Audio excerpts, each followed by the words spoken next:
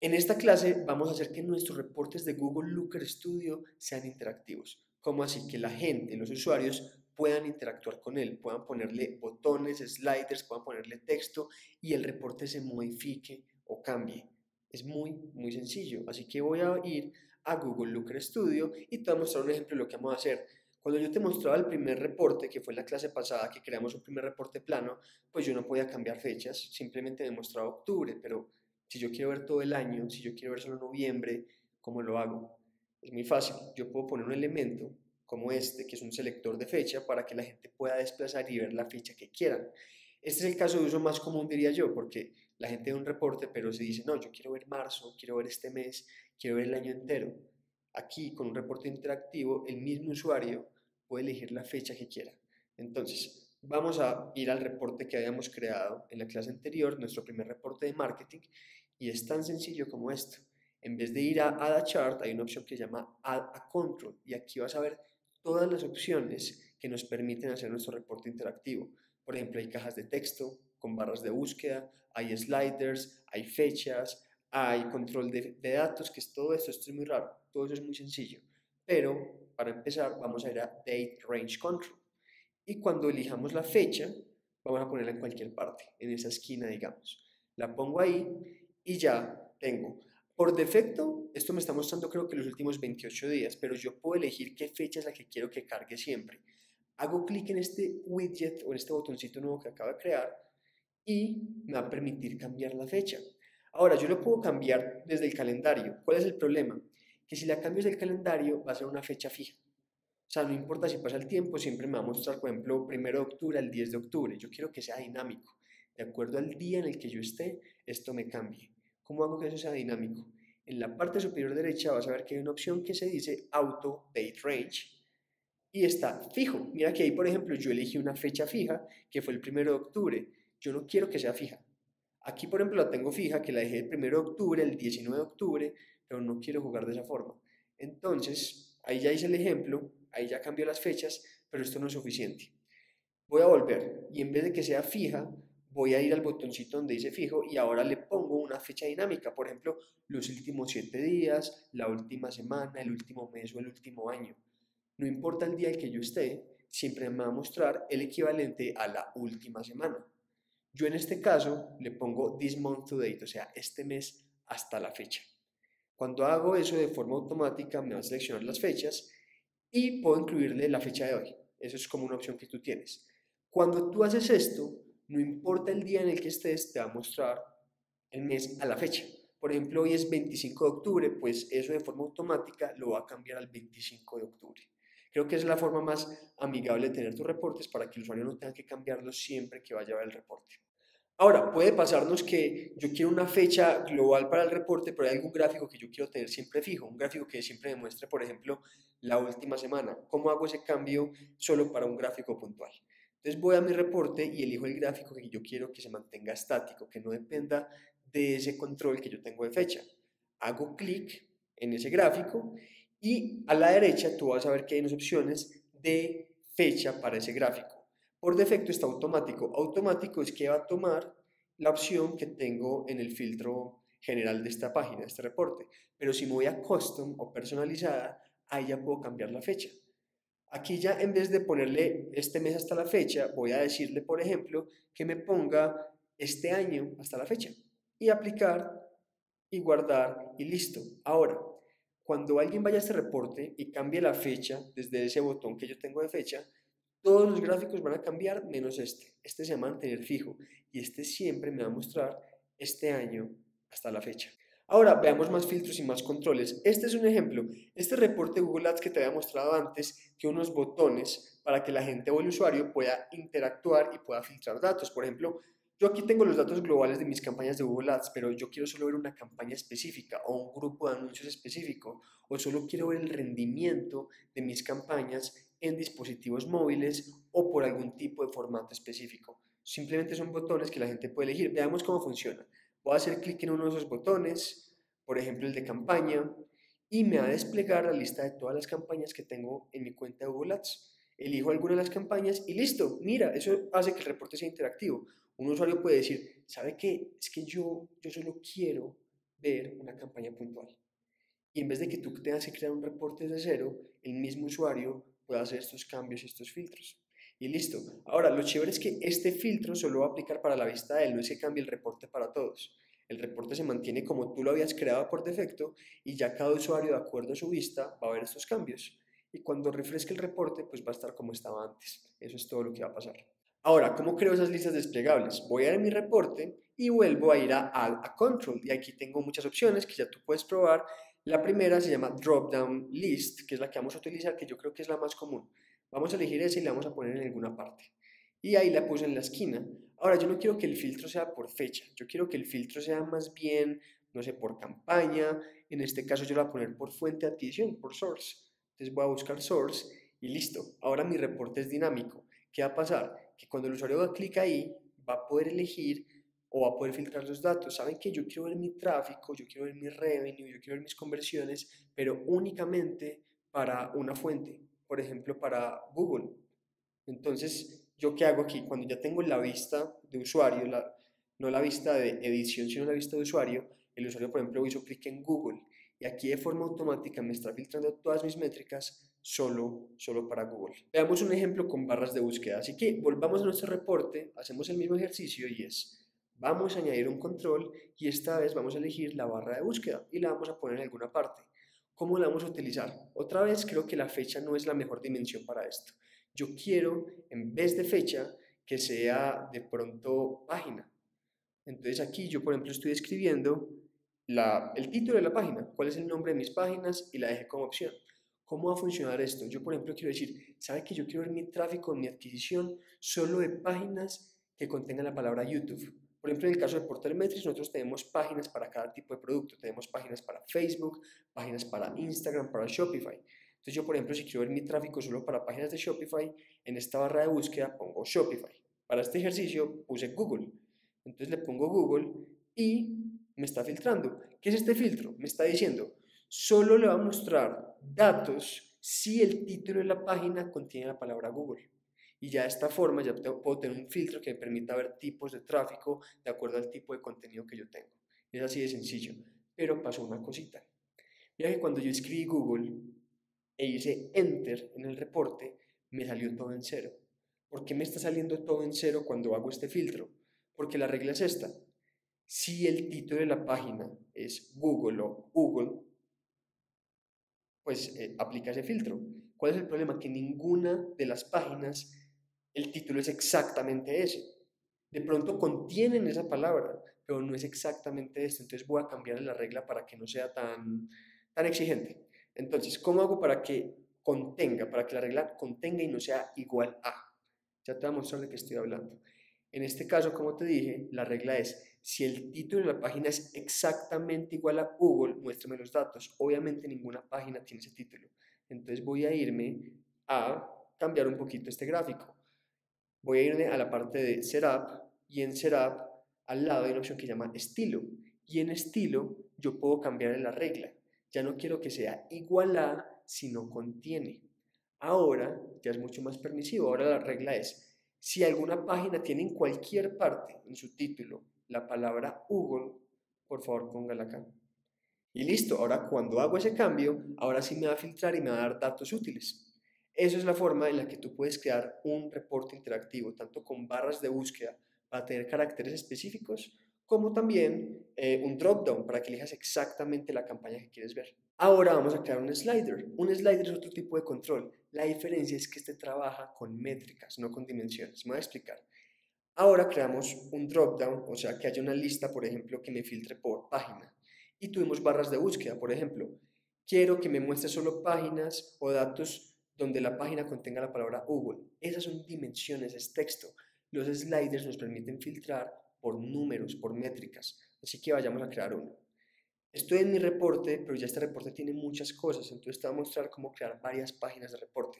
En la parte superior izquierda vas a ver una opción donde puedes navegar donde dice página 1 de 2. Vas a hacer clic en ese texto donde dice página 1 de 2 y en la parte derecha te va a aparecer las páginas que están en este reporte. Para crear una hay un botón gigante que es de añadir. Haces clic en ese botón de añadir y vas a elegir la opción crear una nueva página. Antes de que continúe, mira que aquí hay opciones de navegación muy interesantes. Yo puedo crear páginas, puedo crear secciones, títulos. ¿Esto para qué sirve? Eventualmente tus reportes pueden ser más extensos, pueden tener 10 páginas, 15 páginas o muchas más. Esto sirve para darle estructura. Tú a tu navegación de reporte le puedes poner un bloque, un menú que sea, por ejemplo, reportes de marketing, otro, otra sección llamada reportes de venta, otra sección llamada reportes de soporte. Exactamente así lo hacemos en Porter Metrics. Y dentro de ellas, dentro de esas secciones, le puedes poner páginas. En este caso, para empezar, yo voy a poner página. Esta vez voy a cambiar un poquito el ejercicio. Ya he trabajado con Google Analytics y tú ya conoces esta fuente de datos. Esta vez lo quiero hacer con datos de Facebook Ads. ¿Qué quiero ver? Quiero ver solo ciertos datos de acuerdo a una campaña o de acuerdo a cierto CTR o de acuerdo a cierto costo de adquisición. Ya vamos a ver el ejercicio para que veas cómo funciona. Aquí tengo el reporte en blanco y ahora a este reporte voy a añadirle Facebook Ads. Tú ya sabes cómo se hace esto. Te voy a mostrar otra vez cómo se hace. En este reporte en blanco voy a ir a la opción que dice recurso y en recurso otra vez voy a ir a gestionar fuentes de datos añadidas. Cuando haga eso, voy a ir a la opción que dice añadir fuente de datos y voy a escribir Facebook Ads. Cuando escriba Facebook Ads, recuerda ignorar todas las opciones que no sean Porter Metrics y vas a elegir el gatico unicornio. Cuando elijas el gatico unicornio y conectes tu perfil de Facebook, vas a volver a conectar tu cuenta de Facebook Ads. Entonces aquí ya vimos esto antes, los parámetros es elegí mi cuenta publicitaria, elegí una ventana de conversión y si no hay ninguna elijo la de por defecto, igual con el tiempo del reporte por defecto y listo, añadir. Ya añadimos Facebook Ads y aquí por defecto me creo una tabla, esta tabla me está desglosando el CTR, que es una métrica de publicidad, y me la está desglosando por fecha. Realmente no es tan interesante esa tabla, pero igual lo que yo quiero hacer es mostrarte el ejercicio del slider. Entonces, cuando yo tengo esta tabla, hay una opción que se llama añadir control, que ya la hemos usado, voy a hacer clic en ella y esta vez voy a elegir la opción de slider. Cuando elija el slider, por defecto aquí se me está rompiendo. ¿Por qué? Porque por defecto el valor que me eligió, la dimensión que quiso elegir, es una hora, pero los sliders no funcionan así. Entonces voy a hacerle el cambio. En vez de hora, quiero que el control sea la métrica CTR. Y aquí ya la creé. Ahora, ¿qué puedo hacer con eso? Digamos que yo como anunciante solo quiero ver las fechas donde el CTR era bueno, donde el CTR era al menos 0.4 o donde era menor que el 1%. Entonces ya con este control ya lo puedo hacer. ¿Qué voy a hacer? Me voy a ir a estilo y en estilo voy a elegir el rango que yo quiera. Digamos que para mí un CTR bueno en Facebook, pues empezamos desde 0 y vamos hasta el 2%. Entonces en este caso lo que estoy haciendo es poner el rango mínimo es 0 y el valor máximo que estoy dejando acá lo voy a dejar en 1%. Ya con ese rango máximo voy a a la opción de vista, que es la opción donde el usuario final ve el reporte, no en forma de edición, y hago clic en ver. Cuando esté en ver, esto es exactamente lo que va a ver un usuario. Ahora como usuario puedo jugar con esto. Digamos que yo quiero filtrar que solo me muestre las fechas donde el CTR está en 0.29% y donde sea máximo el 0.66%. Cuando apenas hago eso, esta tabla va a cambiar y me va a mostrar solo las fechas que cumplen con esa regla. Vea que estos controles nos permiten crear filtros, permiten que el reporte sea exactamente, sea dinámico y sea interactivo y el mismo usuario pueda responder a sus propias preguntas. En este caso, ¿qué es lo que quiere el usuario? Solo quiero ver las fechas donde el CTR esté entre 0.09 y el 0.66%. Así, ya sabes cómo crear un reporte interactivo. Los controles y los filtros no son la única forma de hacer nuestros reportes interactivos. Pues ya vimos sliders, ya vimos los dropdowns, ya vimos barras de búsqueda, pero hay más formas de hacer que nuestros reportes sean interactivos. Y te voy a mostrar un ejemplo, métricas opcionales. ¿Para qué sirve eso? Esto te puede pasar. Resulta que tú quieres ver muchas métricas. Aquí estoy viendo un reporte de Google Analytics donde estoy viendo usuarios totales, estoy viendo sesiones, vistas, usuarios activos. Son cuatro métricas, entonces son cuatro gráficos y podría tener muchas más métricas y más gráficos. Pero ¿qué tal si tengo solo un gráfico para esas cuatro métricas? Vamos a ver cómo funciona. Entonces voy a empezar desde cero y voy a hacerlo de siempre. Voy a insertar. Esta es otra forma. Mira que en el menú de Google Looker Studio hay dos opciones. Añadir un gráfico o insertar. Y en insertar también puedo crear gráficos. Entonces voy a hacer clic en insertar o añadir gráfico y voy a elegir una de las opciones. En este caso quiero elegir una serie temporal, así que voy a elegir cualquiera de las tres opciones. Aquí ya creé nuestra serie temporal. Yo quiero que este gráfico me muestre tanto views como users, como sesiones y todo eso. Entonces, ¿qué vamos a hacer? En la parte derecha, donde yo puedo poner las dimensiones y las métricas, hay una opción que llama Optional Metrics que tú vas a aprender, la vas a activar.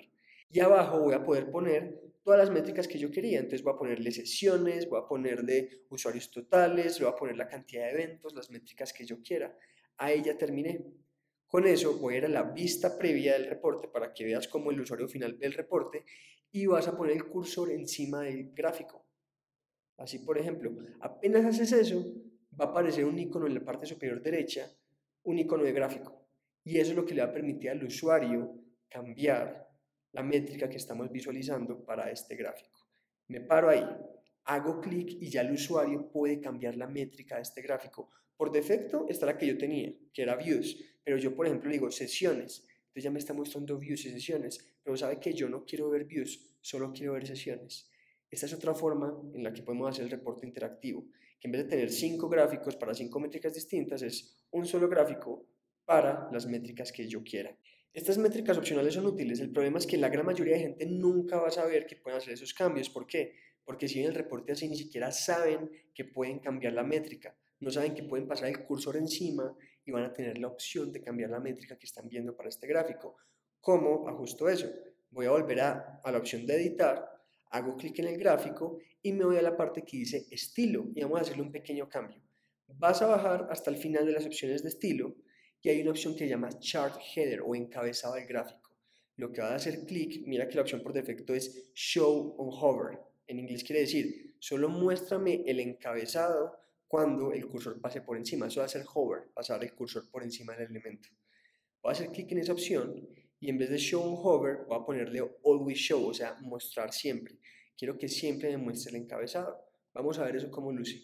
Voy a volver a la vista previa y ya independientemente si el usuario está pasando el cursor o no por encima, ese icono siempre va a estar ahí. Entonces, al menos el usuario puede considerar, sabe que si hago clic en ese icono, ya puedo cambiar las métricas que estoy viendo.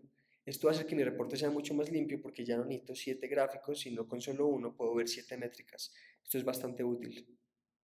Ya vimos que podemos cambiar la métrica de nuestro gráfico, pero ¿qué tal si cambiamos la dimensión? ¿Qué tal si el mismo gráfico de temporal le podemos permitir al usuario que vea por fecha, que vea por día de la semana, que vea por mes? Eso se puede hacer y exactamente se llama drill down. Te voy a mostrar cómo se hace. Entonces, vuelvo a mi gráfico y voy a la opción añadir un control. En este caso, el control que yo quiero crear es un date range control. Quiero que este gráfico yo le pueda cambiar este reporte yo le puedo cambiar la fecha que estoy visualizando. Entonces voy a poner este control, lo pongo en cualquier parte y la fecha que yo quiero elegir va a ser esta vez este año hasta la fecha. Voy a aplicar ese cambio y listo. Ya tengo un gráfico que me está mostrando todo el tráfico de este año hasta la fecha y lo estoy viendo por fecha. Pero sabe que por fecha no es tan útil. Es divertido, pero no es tan útil. Entonces, ¿qué voy a hacer? No voy a ir a esta tabla y cuando yo puedo cambiar la dimensión fecha, hay una opción que se llama Drill Down. La voy a activar. Y cuando la active por defecto, Google Looker Studio me va a crear algunas opciones de fechas. Me va a mostrar por año, por mes del año, por fecha y le puedo añadir más. Yo, por ejemplo, me gusta añadirle día de la semana y listo. Le puedes añadir las que quieras, día de la semana, trimestre, mes, lo que sea. Aquí voy a dejar estas cuatro y voy a elegir, por ejemplo, también semana. Una vez tengamos las opciones de drill down y vayas a la vista previa o la vista de usuario, vas a ver que van a aparecer dos flechas, una hacia arriba y otra hacia abajo. Entonces, ¿qué estoy viendo? Mi reporte por defecto está mostrándome por fecha, la dimensión es la fecha, pero si hago clic en esos botones me va a cambiar a día de la semana, mes del año o año. Hagamos el ejercicio. Si hago clic hacia abajo, me va a cambiar por día de la semana y aquí me está mostrando que la mayoría de mi tráfico durante este año ocurre los lunes. Ahora haré clic hacia arriba para ver otras opciones. Ahora estoy viendo por mes del año. Resulta que me estoy dando cuenta que el tráfico en nuestro sitio web cada mes está creciendo de forma considerable, entonces es un buen trabajo. ¿Qué más opciones tengo? Ahora vamos a ver una última forma en la que podemos hacer nuestros reportes dinámicos y eso va hacer que cada gráfico pueda convertirse en un control, pueda convertirse en un filtro. Ya te voy a mostrar de qué te estoy hablando. Voy a verme este reporte y voy a hacer clic en este gráfico de pastel. Y en este gráfico de pastel, en las opciones de la derecha, tengo dimensión, tengo métrica, pero voy a bajar hasta el final en las opciones y hay una opción que dice Cross Filtering que está desactivada. Voy a hacer clic para activarla. Y cuando esté activada, eso hace que ese gráfico ya se convierta en un control. O sea, ya es un gráfico y un control al mismo tiempo. Voy a mostrar a qué me refiero. Si me voy a la vista de usuario y hago clic en ese gráfico de pastel, por ejemplo, en la opción que solo me muestre mobile, de forma automática toda esta página me va a filtrar solo los datos de mobile. Ahora, si tú no quieres ver este cambio, mira que de forma automática también me salió una flecha para volver, para retroceder ese cambio. Y listo. Ahora, ¿qué cambio quiero hacer? Si hago que la tabla también se vuelva un cross filter o un filtro y hago clic en la página pricing, ¿qué estoy haciendo? Estoy filtrando para que solo me muestre datos de tráfico donde la página que la persona visitó sea la página de pricing. Y ya con eso estoy filtrando y ya con esto estoy haciendo que cada gráfico de mi reporte también sea un filtro.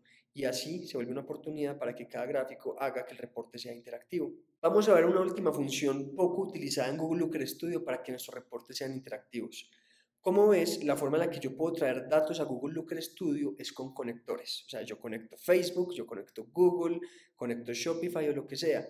Pero ¿qué hay si el usuario viendo el reporte quiere añadir datos a su reporte? ¿Uno cómo hace eso? Para eso son los parámetros y te voy a mostrar ejemplos. Uno, lo que hace con un parámetro es poner tus propios datos en tus reportes. Uno, ¿para qué haría eso? Vamos a ver un ejemplo, por ejemplo, conversión de moneda. Si yo, por ejemplo, tengo un gráfico que me está mostrando mi gasto por, en dólares y yo quiero cambiar de acuerdo al tipo de moneda, por ejemplo, ah, yo quiero ver que mi, yo vivo en Colombia, entonces trabajo en pesos colombianos, yo quiero ver este gasto en pesos colombianos, pero quiero que el gasto, que el, el peso o el dólar esté equivalente a 4 mil pesos. Entonces, que lo cambie y me muestre el gasto en pesos a 4 mil pesos. Y después digo, no, yo quiero ver el gasto a 3.500 pesos y que yo haga ese cambio dentro del reporte y me afecte el gráfico. Te voy a mostrar cómo no sé eso. Aquí es un ejemplo real de reporte que si tú vives en Latinoamérica seguramente te vas a enfrentar a este escenario porque Latinoamérica se está devaluando. Gracias políticas, gracias Estados Unidos y gracias gobiernos populistas, en fin, conversación para otro día. Este es un reporte donde estoy viendo mi gasto publicitario en, en pesos colombianos, pero resulta que mi cliente está en Estados Unidos y quiere ver el gasto en dólares. Entonces, ¿cómo le muestro ese cambio? Quiero que a la izquierda, el gráfico de la serie temporal a la izquierda, no me muestre esos gastos, ese dato, en pesos, sino en dólares. Entonces, ¿qué voy a hacer? Aquí tengo el primer gráfico que está amount spent o gasto publicitario de Facebook en pesos por fecha. El primer cambio que voy a hacer es que voy a hacer clic en ese botón azul que dice Amount Spent, donde está la métrica, y voy a hacer clic en ese icono donde dice Suma o Zoom.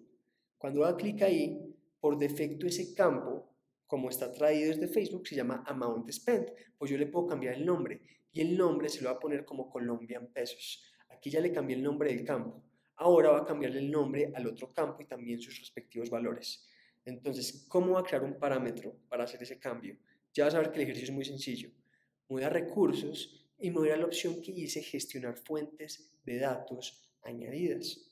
Hago clic en gestionar fuentes de datos y voy a la opción que dice editar fuente de datos. Vamos a editar nuestra conexión de Facebook Ads. Cuando haga clic ahí, voy a ver toda la lista de campos que me ofrece Facebook Ads. Por cierto, nosotros traemos 816 campos de Facebook Ads, son bastantes. Y en la parte superior derecha vas a ver una opción que se llama añadir un parámetro. Vamos a hacer clic ahí. Cuando hagamos clic en añadir un parámetro, vamos a ver las opciones que tenemos. El nombre del parámetro, el tipo y el valor. ¿A qué me refiero? En este caso, lo que yo quiero hacer es un cambio de moneda. Entonces voy a ponerle que el nombre sea currency conversion o simplemente conversión de moneda. El tipo de parámetro puede ser texto, puede ser un número entero, un número decimal. Es una conversión de moneda, entonces es un número. Entonces voy a dejarlo como número entero y que sea cualquier valor. O sea, que el usuario pueda poner el valor que se le cante y cambie el gráfico. Voy a, por defecto, decir que un dólar son 5 mil pesos, historia real. Y listo. Guardar y ya creamos el parámetro. Cierro esta opción de fuentes de datos y no pasó absolutamente nada. ¿Por qué? Pues porque no hemos hecho ningún cambio. Solo creamos un parámetro que está por ahí en el aire o no le hemos aplicado a este reporte, a este gráfico. Entonces, ¿qué voy a hacer? Me voy a parar en este gráfico y donde está la opción de métrica Amount Spent, puedo hacer un cambio. Hago clic en ella y en vez de elegir alguna métrica en particular, voy a ir a la opción que se llama Create Field o crear campo. Y te va a mostrar tu primera fórmula en Google Looker Studio. Primero este campo se va a llamar como gasto en dólares o US Dollars para el gasto publicitario. Y voy a poner una fórmula. La fórmula va a ser lo siguiente. Automáticamente creo una fórmula que así funciona la conversión de moneda. El amount spent, que es el gasto publicitario que tengo en pesos colombianos, y lo divido por el valor de la moneda. Y ese valor de la moneda, mira que está en morado. ¿Por qué? Porque yo pude poner el campo ahí del parámetro. ¿Cómo hice eso? Esto funciona igual que Google Sheets. Simplemente escribe el campo que quieras. Yo puse amount spent, me lo puse en verde porque Google Looker Studio detectó que era un campo que estaba disponible en Facebook. Dividí y cuando puse currency conversion también detectó que yo ya había creado ese parámetro ahorita. El que ahorita creamos que pusimos currency conversion es este mismo. Y ahí ya este gráfico me quedó con esa fórmula y voy a aplicar ese cambio. Cuando apliqué ese cambio, mira que ya cambió esto. Mira que ya me está mostrando en dólares ese gráfico. Me está diciendo que he gastado 20 y alrededor de, de 24 a 28 dólares al día en publicidad. Recuerda que el valor por defecto que yo le puse al parámetro fue de 5000. Pero si el usuario quiere interactuar con este gráfico para cambiar ese valor, ¿cómo lo va a hacer? Entonces, vamos a añadir un control y cuando añadamos ese control, vamos a ir a la opción que dice Input Box. Y ahí vamos a crear ese campo, ese Input Box lo vamos a dejar arriba. No voy a usar fecha. Lo que yo quiero usar es el parámetro que acabo de crear. Y voy a dejar que sea Currency Conversion. Y listo. Ahora, es una opción donde el mismo usuario va a poder cambiar el escenario de los datos. Cuando yo puse eso, por defecto me quedó en 5000 porque es el valor que yo puse por defecto, pero cuando le ponga, por ejemplo, 4500, ¡pum! me va a cambiar el valor. Y si el usuario le quiere poner 3700, también me va a cambiar el valor. Y de esta forma puedo permitirle al mismo usuario que ponga sus datos para que cambie la información del reporte. Este es un ejercicio que seguramente si vives en Latinoamérica vas a querer utilizar. Si quieres pasar de tu moneda local a otra moneda en el reporte sin que tengas que hacer algo bien raro, esta es una forma en la que el mismo usuario puede cambiar el valor de la moneda y ver estos gastos. La conversión de moneda es un caso de uso, pero hay más casos de uso. Por ejemplo, si tú quieres calcular el ROI de tu campaña o el costo de adquisición, ¿cómo así que el costo de adquisición y el ROI? Imagínate que creamos una fórmula donde demuestre mi gasto publicitario y mis ventas, que eso sí me lo entrega, por ejemplo, Facebook, pero puedo crear un parámetro donde yo le ponga, por ejemplo, el costo de venta de producto y haga la fórmula, como, oiga, necesito que me quite el gasto publicitario y el costo de venta y ya si sobre eso me entrega el total del retorno de inversión. ¿Cómo así? Tú en publicidad, estas plataformas te van a entregar el ROAS. El ROAS es el Return on Ad Spend o el retorno sobre la inversión publicitaria. ¿Cuál es el problema de esa fórmula? Que solo me está teniendo en cuenta las ventas registradas dividido el gasto en publicidad. Pero cuando tú vendes un producto, el único, el gasto, el gasto que tú tienes no es solo el gasto de publicidad, sino el gasto de venta. ¿A qué me refiero? Digamos que tú vendes zapatos. Digamos que gastaste 20 dólares en publicidad para vender unos zapatos. Pero para ti fabricar los zapatos que vendiste te valieron 10 dólares. Es decir, vender esos zapatos te valió 30 dólares. 20 dólares de publicidad y 10 dólares de ese inventario. Y digamos que ese zapato lo vendiste a 50 dólares. Ahora, el ROI lo vamos a operar de esa forma. Vendí 50 dólares, pero le voy a quitar los 30 dólares que me costó vender ese zapato. De esa forma sirven los parámetros y de esa forma puedes calcular el retorno de inversión. Es súper sencillo. De pronto lo dije muy enredado porque aquí me está demorando, pero simplemente usar esa fórmula y, y ver que, por ejemplo, cuando no tengas ese dato disponible porque Facebook no te lo da, el mismo usuario lo puede poner con un parámetro. Lo mismo puedo hacer con el CPA. Por ejemplo, por defecto Facebook me puede entregar un CPA, pero si yo, por ejemplo, le quiero añadir una métrica adicional o le puedo cambiar la cantidad de leads que he generado de clientes de forma dinámica con un parámetro, lo puedo hacer. Y este es un caso de uso particular, es la comisión de agencia. ¿Eso cómo se hace? Hay muchas agencias que hacen esto. Te cobran en función de tu gasto publicitario. Por alguna razón lo hacen así. Entonces, ¿tú cómo puedes usar los parámetros? Tú puedes tener una métrica que te muestre el gasto publicitario y por defecto el usuario pueda poner el porcentaje adicional que el cliente va a pagar. Entonces puedo poner un parámetro que me añade el 2% o el 10% al total y así el usuario sabe cuánto debe estar gastando. Por ejemplo, yo que he visto que la agencia se compromete a tener un gasto o un, un costo de adquisición de un cliente de 5 dólares. Y listo. La, agencia le costó 5 dólares pero cada lead al cliente se lo está vendiendo a 8 dólares, o sea que está ganando 3.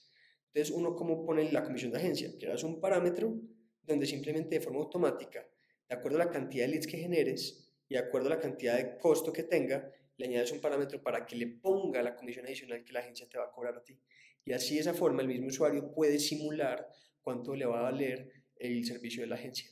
Esto para ti como agencia, que de pronto usas comisión de agencia de acuerdo al gasto publicitario, de acuerdo a tus resultados, estos parámetros te van a ser muy útiles. Ya viste cómo hacer que tus reportes sean interactivos, ya viste cómo hacer que tus usuarios puedan interactuar con ellos, puedan modificarlos, puedan filtrarlos e inclusive puedan añadirles datos. En la siguiente clase te va a mostrar cómo calcular tus propias métricas, cómo calcular tu propia tasa de conversión, cómo crear inclusive tus propias dimensiones. Te espero en la siguiente clase.